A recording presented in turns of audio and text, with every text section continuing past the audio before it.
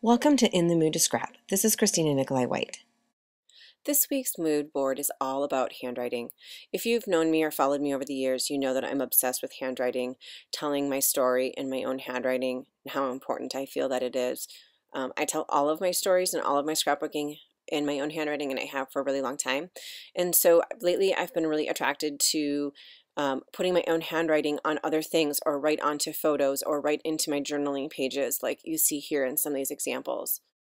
A really hot trend right now is to do big black bold script handwriting or calligraphy and um, so as you can see I have both of those examples on my mood board this week.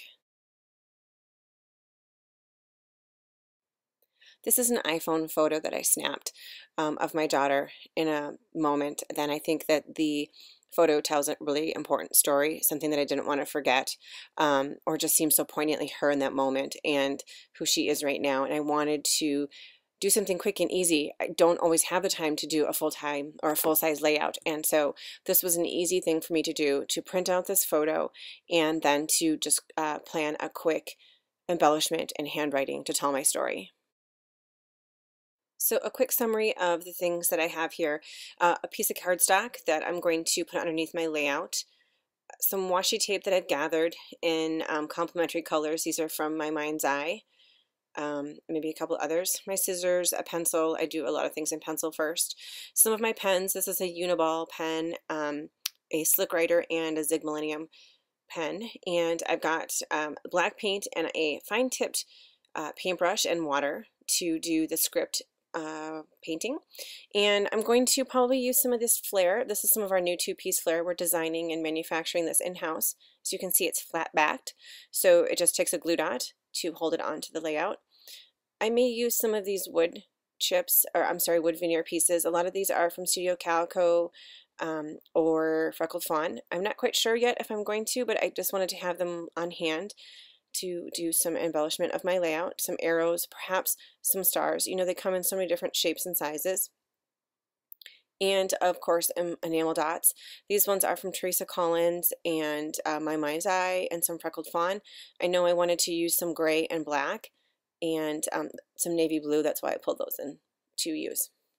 Okay, so I've gone ahead and put adhesive on my uh, 8.5 by 11 white cardstock and I'm just going to adhere my photo onto this just to give it a little more stability than what the photo paper has. I know that I want to use, um, as I said, some embellishments, um, probably some flair, probably one or two. I'm thinking up in this space where you can see the crack in the concrete from where she's sitting and I just want to make sure I find just the right color um, to match what's in the photo but also the thought and feeling behind my journaling. I'm pretty certain I'm going to go with this uh, two-toned pink and red heart. I like the contrasting colors on here. I've gone ahead and printed out um, just a regular print sheet of this photo because I wanted to practice and know exactly where I wanted everything to go. So I hand wrote my journaling um, on here and practiced the painting that I wanted to do to just have a good sense of where it was going to go. I always practice my journaling on something else before I do it on the photo actually or actually on my project. I've actually gone through with a piece of scratch paper and tested the tip of my paintbrush a couple of times to also how much water do I need, how much paint do I need, um, what exactly do I want this to look like, um, what should my technique be, and um, written it all out on a piece of paper. Um, as you can see, I scratched some of the things out just so I had the right wording and knew exactly what I wanted to do. I'm going to keep this um, extra sheet that I practiced on right ahead of me so that I have it um, within my eyesight as I'm working on this.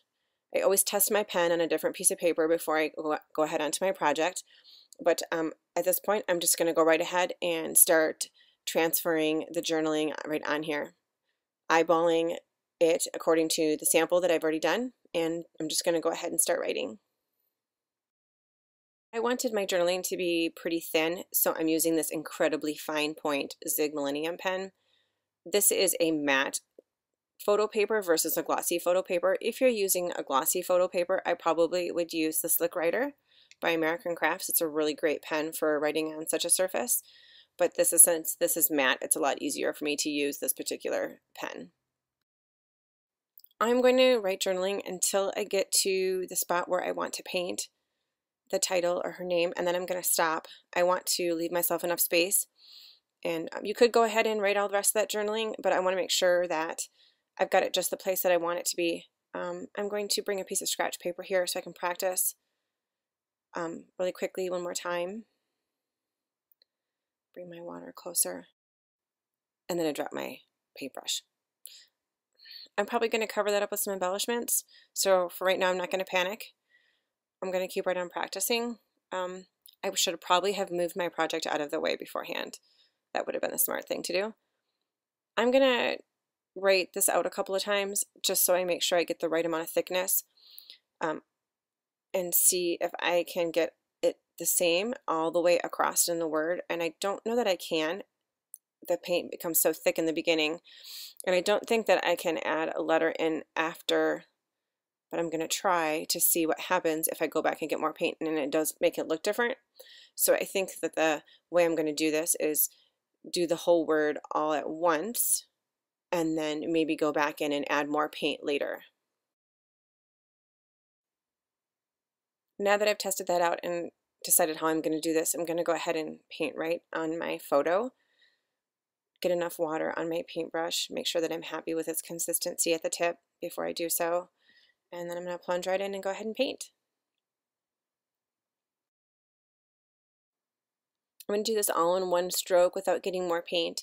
I'm pretty lucky it's a short name, it's a short title. I think I would do it the other way if it was a longer title.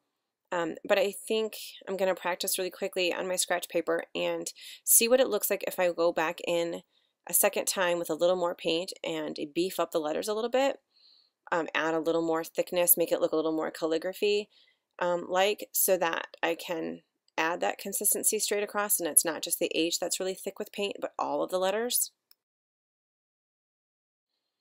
One more test. You could even do this where you purposefully make the under letter or the, the first word be one more watered down and then come back in. It's almost like creating your own shadow. You could even do it with another color if you wanted to and have it like a, a light teal blue and then come with a darker teal blue. Just kind of um, practice and play with the different colors and see what kind of effects you can create. It could be really cool and really fun. I'm just adding a little more paint then to these to beef up these letters, make them a little more consistent so that they're thick black all the way through and not watered down at the end.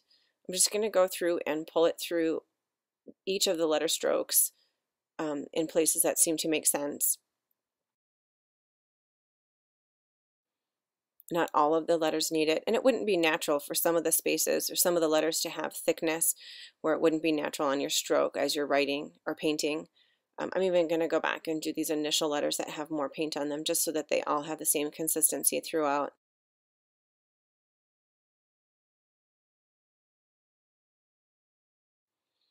I think I'm happy with that.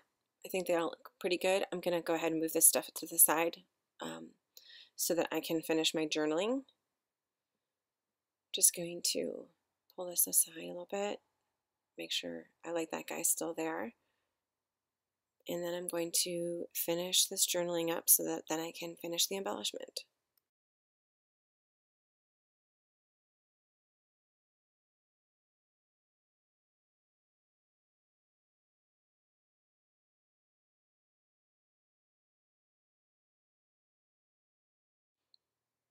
I'm just going to make sure I pull my sample down again so that I get the right wording and I don't make any mistakes. Sometimes it's okay to shoot off the hip. Sometimes I've done that. Um, in my sample, I didn't draw a heart. I actually wrote love. This time I decided to actually change that to a heart. I kind of like that um, brain dump kind of mm, journaling where it just comes right out of my brain and I don't really think too hard about it. But on this particular layout, I actually wanted to have it all spaced correctly in my head. So I did do that sample. I'm just going to um, finish this up before I move on to embellishing. I want to make sure I leave a little bit of space down here at the bottom because I want to put a strip of paper, but I don't want to cover up her shorts. Um, so I'm not going to put um, not not put too much embellishment because I want to make sure that I don't cover up that part of the photo.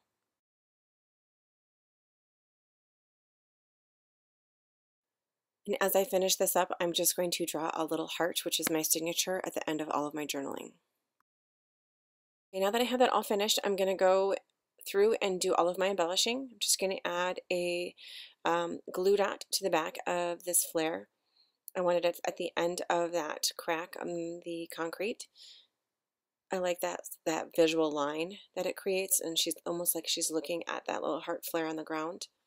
This is just some paper strips, some scraps that I pulled out of my bin. Um, nothing major, just some vellum and a few gray pieces of paper. Um, my mind's eye wood grain and Amy Tan paper. I, I know I want to do something subtle, subtle um, nothing that's overwhelming. I was trying to decide if I wanted to do this. This is from October afternoon or um, a darker piece at the bottom to ground it a little bit more.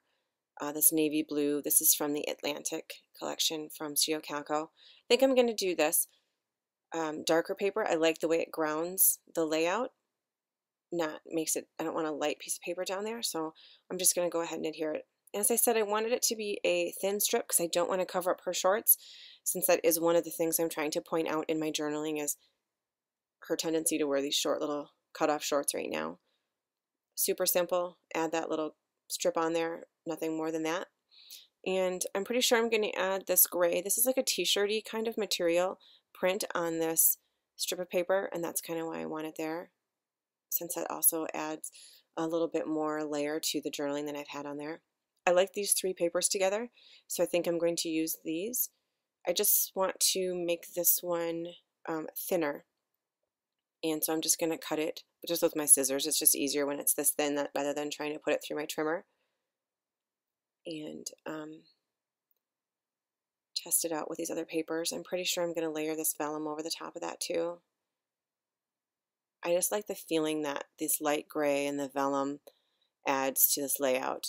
Not a lot of color, and but it's kind of airy, lightweight um, feeling. That's why I'm, I'm using the, this, these embellishments that seem like perhaps a little colorless.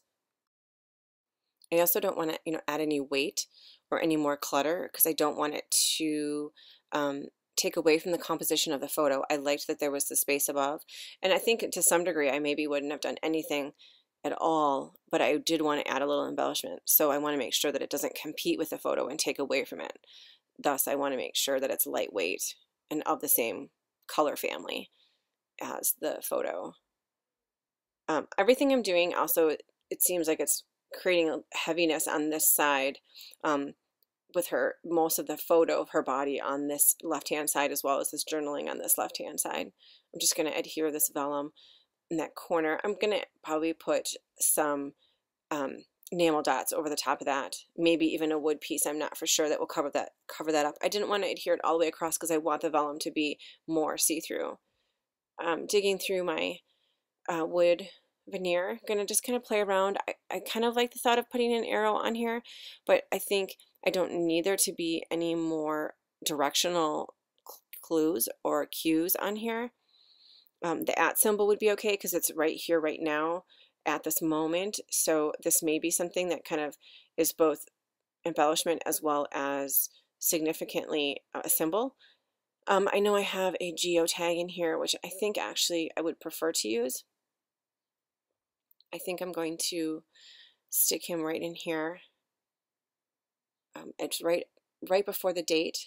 So I think that's where I'm going to put him and add that guy in there. Test it. I kind of like the little asterisk. Um, also, like it's like this is an afterthought. Look here, here's my information, a footnote to the bigger picture, which would be also a great option since my journaling is not huge, not um, in a thick um, pen. I'm kind of just moving things around a little bit. I'm pretty sure I like this geotag. Um, and that's what I'm going to go with. I went ahead and adhered him. And then I'm just going to go ahead and play around with the enamel dots. If you've watched my videos before or looked at my projects before, you know I like to add a few enamel dots here and there. And um, I really like the gray ones. I don't want to add too much color, as I said before, so I'm probably going to um, just use a few of the different gray ones from a couple of these different packages, since that's the same color.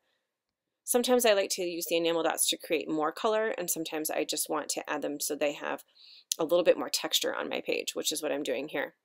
So I'm sticking with those that color scheme I kind of think I like the thought of putting a little bit of white out there with that flare, adding a little more color and interest. I think I'm going to add a few here to the bottom along the right hand side, uh, help balance this out a little bit, make a triangle out of the embellishments so that it would be the um, the flare and the geotag and then back down here in the corner with um, navy or black. I'm still kind of testing them out up at the top. I think I want to do something by that flare, but I'm not quite sure yet what I'm going to do. But I know I want to put a few here in this uh, right hand corner.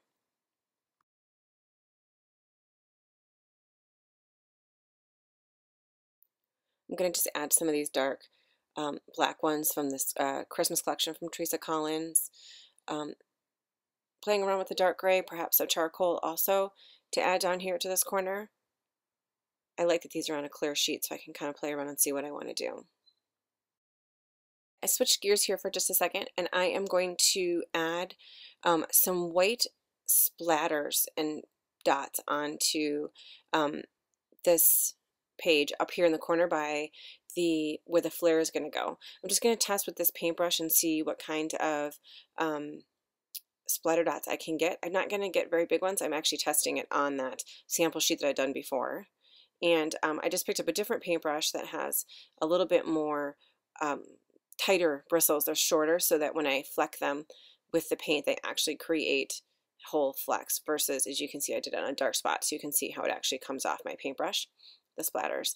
The shorter, tighter um, paint bristles, paintbrush bristles will create a much nicer splatter when you use your finger like that. You want to make sure there's enough water in your paint when you do this. I'm going to put um, a piece of scratch paper underneath here so I'm not getting it all over my desk. It's kind of hard to see since it's going on a whitish background here, um, but it's creating a tiny, almost like a mist, but actual creation of more stuff. I've gotten it on my flare. But there's a little more bulk in the splatters than there would be if I was doing it with, like with a, um, a spray. And then I put a lot of water on my brush and I'm going to go in and do a couple of these by hand and let them kind of dry in. If they can, then they can kind of like they're accidental. Um, and then I can make them bigger and let them soak in. If I go back in with my paper towel and just blot up some of that, it will help it dry a little bit and maybe make them look a little um, more accidental versus deliberate.